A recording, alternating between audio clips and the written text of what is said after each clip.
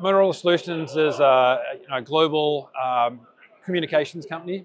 Uh, we specialize in video solutions, uh, command center solutions, and then also critical comm solutions. So for me, I'm part of the Barrett product group.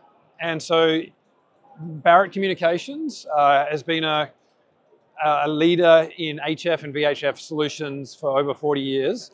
And Motorola Solutions acquired Barrett uh, just over two and a half years ago. So focusing on defense comms, right? So for our products here in Barrett, we have HF tactical and commercial products, and we have tactical VHF products. Our newest product in this space is the Barrett PRC 4080 tactical VHF radio.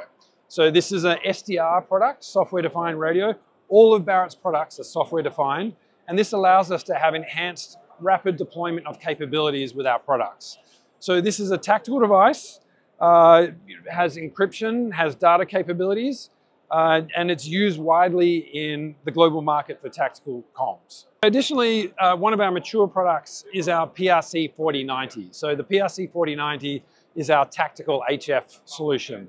So it comes in a manpack configuration with a 16 amp lithium ion battery and also comes in a mobile configuration, which is the anti-vibration mount with a remote control head, and also in base configurations. So this is a 150 watt capable transceiver with all the modern ALE automatic link establishment, digital voice and data capabilities. Additionally, in our commercial products, we now have a wideband capability.